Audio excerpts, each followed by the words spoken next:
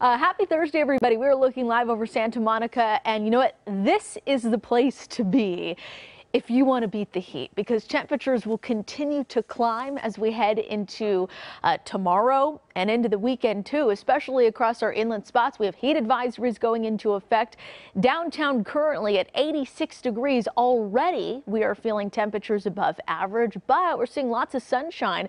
Riverside in the 90s, 94 degrees to be exact. And again, we do have a heat advisory. It is now in effect. It's going to be with us through Saturday night across the Inland Empire. So that means temperatures will range between 97 to 104 degrees. Another reason why this is in effect is because overnight lows, so temperatures to start off the day will also be on the warm side. Temperatures mostly in the 70s. And hey, if you are headed to the coast, we do have a beach hazard statement in place. This is for Los Angeles and Ventura County beaches. So high tides up to around seven and a half feet tonight uh, could cause some minor tidal overflow. So nothing too serious, but just something to be aware of this evening. And this is going to be with us through late tomorrow as well.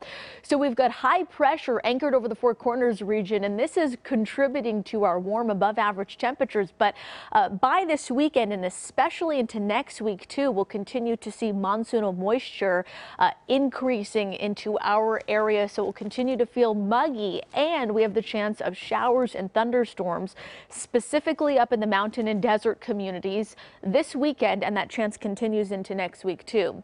LA and Orange County look for temperatures in the upper 80s to lower 90s over the next few days. We'll knock down temperatures just a few degrees as we head into the start of next week. Nothing to write home about. It's still still going to be quite hot as temperatures will be into the triple digits across the inland empire. So the inland valleys feeling triple digit heat.